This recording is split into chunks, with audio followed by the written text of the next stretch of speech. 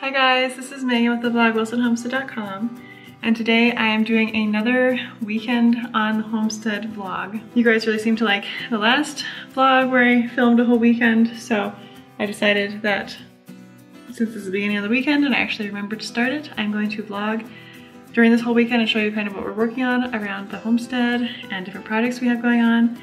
And so I'm excited to bring you along and let's get right into this.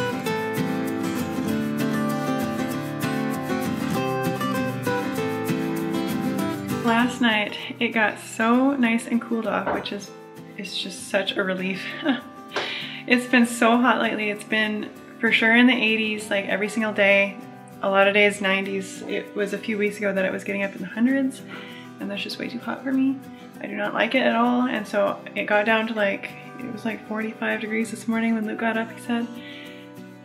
So the house was like super cooled off. I slept so good with it being colder in here and that's just been really nice. So Luke's having a lot more fun working outside today with it being a little bit cooler of temperatures. It's still super smoky out from all of the fires, but at least we're getting a little bit of a break from the sun. That is one good thing that comes from the smoke, I guess. Right now, Luke's outside working on fencing. We're doing a cross fence so that our back, the back five acres of our pasture is fenced completely enclosed with uh, rabbit, chicken, sheep fencing. So it's secure for all that. And we're gonna be putting our sheep out there just loose on the five acres for the winter. So he's getting, he put all the posts in last weekend. And then this weekend he's putting up the wire on the posts. So that'll be nice to have done.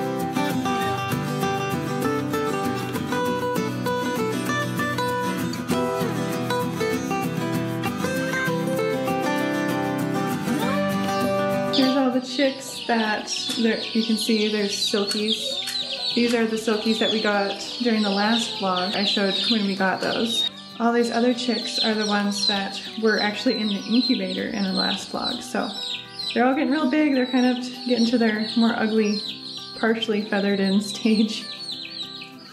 But we just switched them over to this nipple waterer and they're doing really good. We just put these perches in here so they can start learning to perch.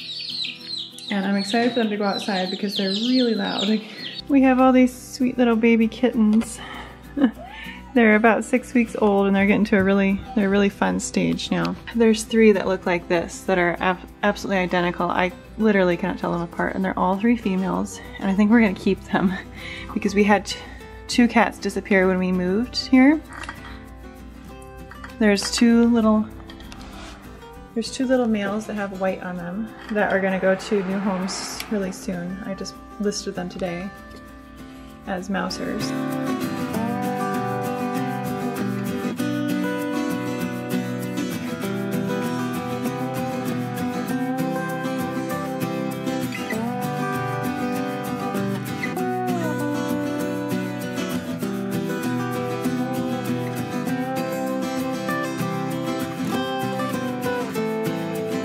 Well, it's afternoon now, and Luke's gotten all the gates up on the fence and the cross braces and all that stuff. So now in the morning, he can start on putting the wire on the fence when it's cool.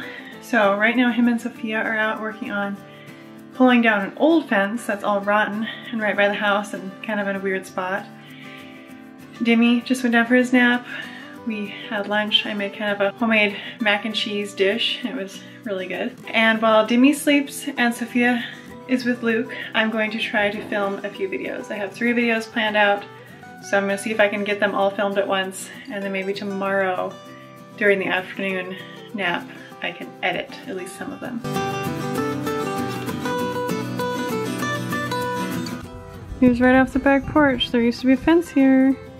Luke knocked it down. It looks so much more open, so much better without it and it was old and rotten anyway and not not doing anything because you could just like basically tip it over.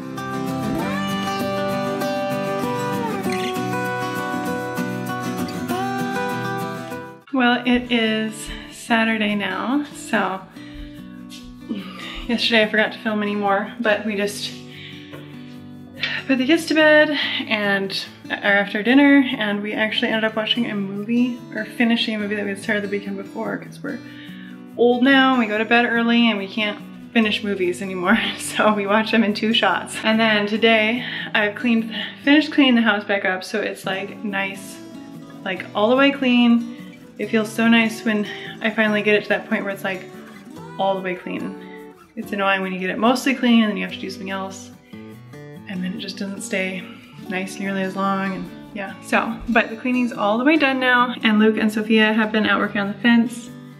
I just put both the kids down for their nap and Luke's back out on the fence after lunch now. It's so close to being done.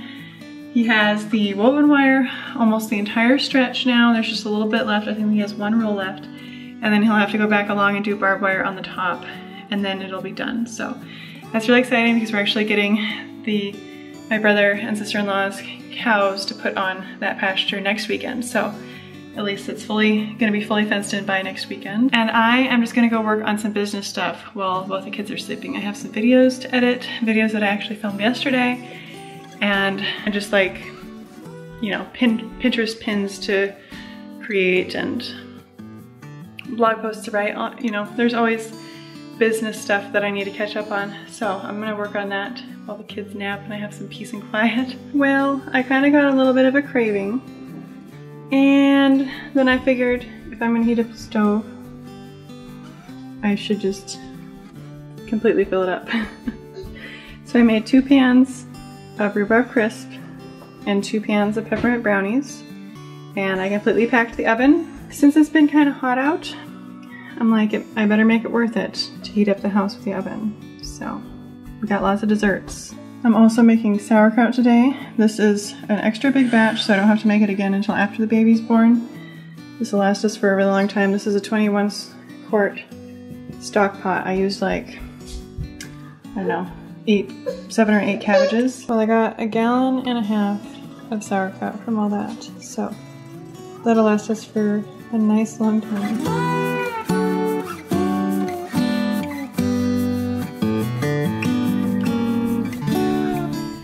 We're moving the sheep to the big pasture now that all the fencing's done. Luke built this hoop house to easily move them since they're so wild.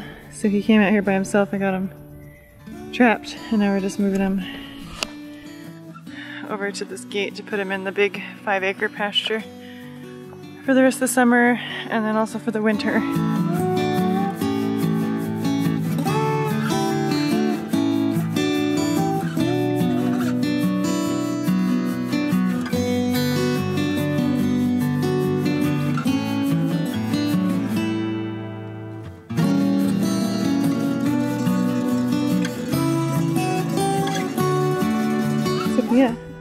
Sophia, do, do you see the sheep? Where are they?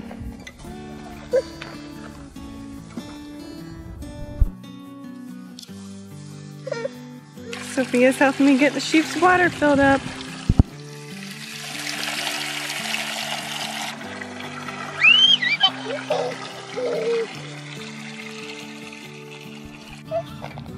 Yes, there's a tractor over there. Like it? Yes, it's very exciting. Yes, tractor. Well, I'm just gonna end the vlog there. I hope you guys enjoyed seeing what we did over that weekend. We got quite a few things done. I, some of the stuff I forgot to film because we just get to working and then I think of it afterwards, but the main thing is Luke got the fence completely up and we got the sheep in that pasture, which was our main goal for this weekend. So that's really exciting. The fence just looks so good and I'm so excited that he knocked down this other fence that was next to the porch because it was just so, so blocking the view. It was just, it was just a really dumb place for a fence.